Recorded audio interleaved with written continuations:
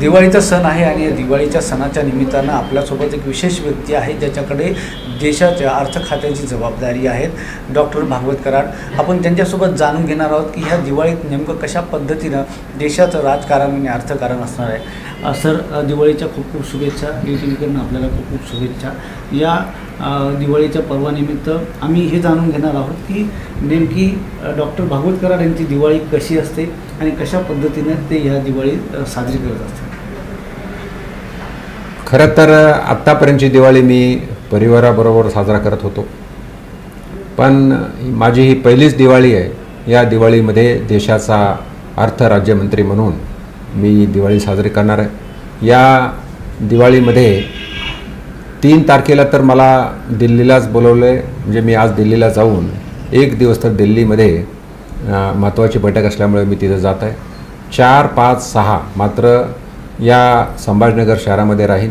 चार तारखेला या संभाजनगर श शहरातील छावणी एरियातील जे शोल्जर्स आहेत त्यांच्यावर जाऊन त्यांच्या भेटीगाठी देऊन त्यांना मी परत एकदा मिठाई देणार आहे.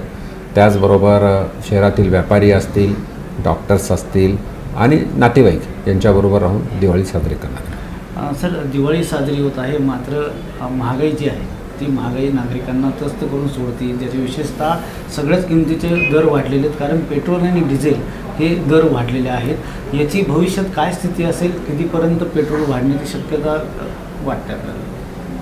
पेट्रोल आणि डिझेलचे भाव कच्च्या तेलाच्या भावावर ते अवलंबून असतात. आणि त्या कच्च्या तेलाचे भाव जसे जसे इंटरनॅशनल मार्केटमध्ये वाढतात त्याप्रमाणे डिझेल आणि पेट्रोलचे भाव वाढतात.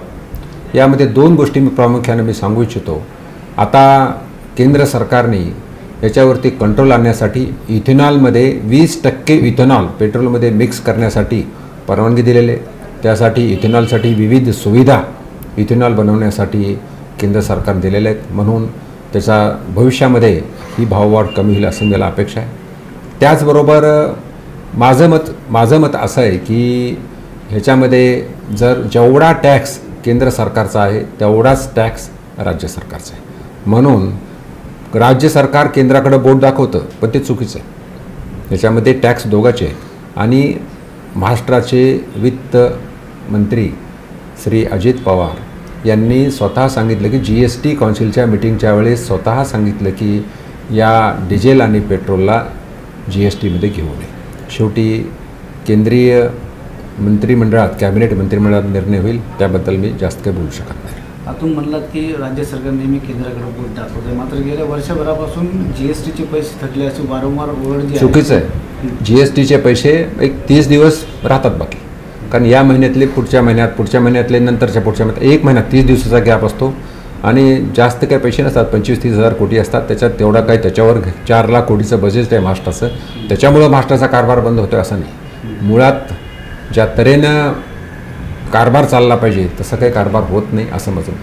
म्हणजे जाणून बुजून केंद्राला फक्त ओरड करायची विकास कामं. केंद्राकडं बोट दाखवून आपला ना करतेपणात उघडा पडू नये म्हणून राज्य सरकार केंद्राकडे नेहमी बोट दाखवत असतं पण केंद्र सरकार कुणालाही बोट न दाखवता कुणाकडेही दुजाभाव न करता केंद्रासाठी सर्व राज्य सारखे येत आहेत आणि जनता केंद्रित करून विशेषतः या देशातील सर्व नागरिक सर्व जाती धर्माचे नागरिक त्याचबरोबर सर्व गरिबातला गरीब नागरिक याचा विकास कसा होईल त्यासाठी केंद्र काम करतं. आपण म्हणता की राज्य सरकार ज्या पद्धतीने कामकाज करते त्या कामकाजावर आपल्याला अनेक म्हणजे प्रश्न उपस्थित केले जात आहेत. मात्र राज्य सरकारमध्ये कुठं ताळमेळ असं वाटतं का? कारण एक आपला मित्र. राज्य सरकारमध्ये तीन पक्ष मिळून हे राज्य सरकार बनलेलं आहे.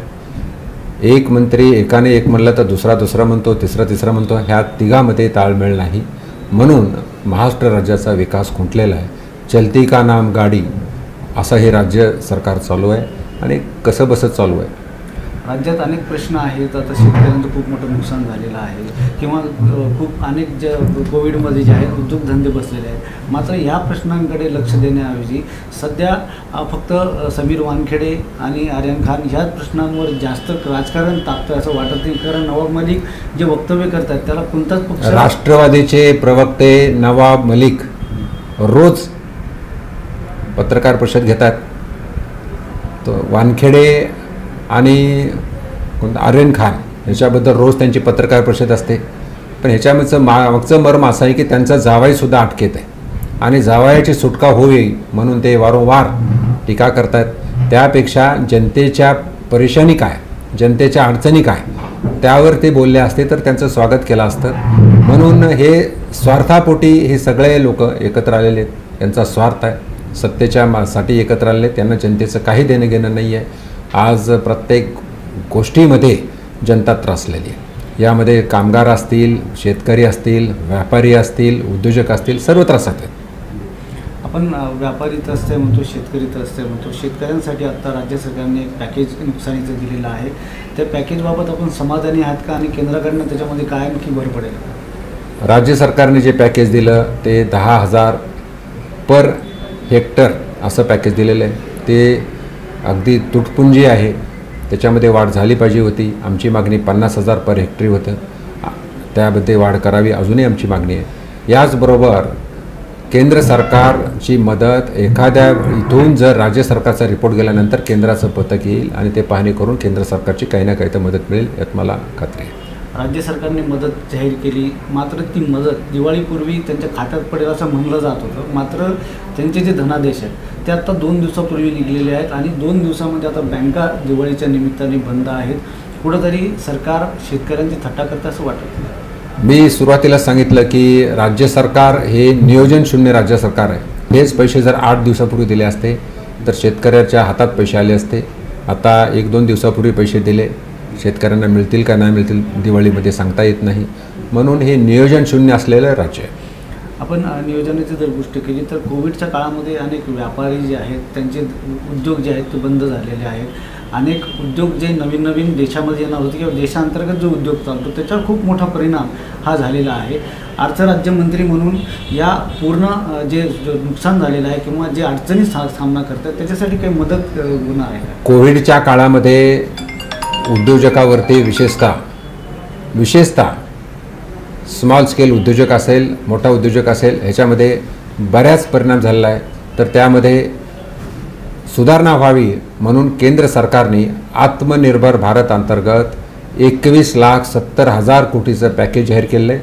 त्याचा उद्योजकाला फायदा होतो आहे आणि मला खात्री आहे ज्या तऱ्हेनं जी एस टी कलेक्शन होतं आहे त्या जी एस टी कलेक्शननुसार राज्याची आणि देशाची आर्थिक परिस्थिती चांगली होती. सध्या देशाची परिस्थिती कशी आर्थिक परिस्थिती आर्थिक परिस्थिती इकॉनॉमिक्स देशाचा अत्यंत चांगला आहे. यामध्ये एक लाख छत्तीस हजार जी एस टी मागच्या महिन्यात झाला. त्याच्या अगोदरच्या म्हणजे सप्टेंबर महिन्यामध्ये एक लाख सतरा हजार कोटी जी एस टी मिळाला महिन्याला प्रत्येक महिन्याला. अपेक्षा होती एक लाख कोटीची. तर जी एस टी वाढत चाललेला आहे. ह्याचा अर्थ इकॉनॉमी या देशाची चांगली. राज्याची इकॉनॉमीबद्दल काय सांगायचं देशाची झाली मात्र राज्याच्या इकॉनॉमीबद्दल तुम्ही काय सांगाल? राज्याच्या इकॉनॉमीबद्दल मी न बोललेलं बरं. अगोदरच सांगितलं की कुणाचाच कुणाला ताळमेळ नाही आहे आणि फक्त केंद्राकडे बोट दाखवणं एवढंच त्यांना कळतं. तिन्ही पक्ष केंद्राने असं केलं केंद्राने तसं केलं म्हणतात. स्वतःचं काय? स्वतःकडे पाहिलं पाहिजे ना. आपण म्हणतो ना ज्यावेळेस एक बोट दाखवतो तेव्हा चार बोट आपल्याकडे असतात. त्याचाही विचार केला पाहिजे. यांनी एकत्र येऊन या राज्य सरकारमधील गोरगरीब असेल शेतकरी असेल कामगार असेल मजदूर असेल याचा विचार केला पाहिजे. त्यांना दिवाळीमध्ये अजून काय मदत करता येईल तो विचार केला पाहिजे. असं कुठलीही मदत झालेली नाही. जे राज्यामध्ये ताळमेळ नाही आपण असं म्हणतो मात्र एक ताळमेळ नसलेला आणखी एक मुद्दा म्हणजे औरंगाबादचा नामकरणाचा जो आहे संभाजीनगरचा मुद्दा आहे. त्याच्यामध्ये आजही तुम्ही दोन्ही पक्ष ठाम आहात त्या संभाजीनगरच्या मुद्द्यावर. भारतीय जनता पार्टीची स्पष्ट भूमिका आहे. या संभाजीनगर शहराचं नाव औरंगाबादवरून संभाजीनगर झालं पाहिजे. त्यासाठी आम्ही प्रयत्न करतोय करणार आहोत. पण आता सत्तेमध्ये असलेल्या शिवसेने काँग्रेस आणि राष्ट्रवादीने विधानसभेमध्ये आणि विधानसभेमध्ये ठराव म्हणून केंद्राकडे पाठवला पाहिजे. मग आमची जबाबदारी येते. त्यासाठी आम्ही प्रयत्न करू. आता ओवेसी आले होते. असुद्दीन ओवेसी त्यांनी वक्तव्य केलं की दोन हजार चोवीसमध्ये पुन्हा शिवसेना आणि भाजप हे एकत्र दोन हजार चोवीसमध्ये भारतीय जनता पार्टी आणि शिवसेना एकत्र येण्याची शक्यता नाही. कारण ज्या तऱ्हेने दोन हजार एकोणीसमध्ये शिवसेनेने भाजपला धोका दिलेला आहे. म्हणून आता हा असा धोका मला वाटत नाही भास भारतीय जनता पार्टी पत्करेल. पण शेवटी जो पक्षश्रेष्ठी निर्णय घेतील तो महत्त्वाचा राहील. माझं स्पष्ट मत आहे की भारतीय जनता पार्टी अशा प्रकारचा धोका पत्करणार नाही. हा सर शेवटचं एक हे की दिवाळीनिमित्त का जनतेला काय सांगाल? मी दिवाळीनिमित्त संभाजीनगर शहर असेल महाराष्ट्र असेल आणि देशातील जनतेला माझ्या वतीनं हार्दिक हार्दिक शुभेच्छा देतो. ही दिवाळी सुखाची समृद्धीची आणि अत्यंत आनंदमयी जावो अशी मी ईश्वरचरणी प्रार्थना करतो. हे होते डॉक्टर भागवत करार केंद्रीय राज्य अर्थमंत्री. ज्यांनी आपल्या देशाच्या एकंदरीत आर्थिक स्थितीवर माहिती दिलेली आहे. इतकंच नाही तर देशाची आर्थिक स्थिती भक्कम असली तरी राज्याच्या स्थितीबद्दल मी बोलणार नाही अशी टीका देखील त्यांनी ह्या दिवाळीच्या निमित्ताने केली आहे. Amit Phutane E T V Bharat Aurangabad.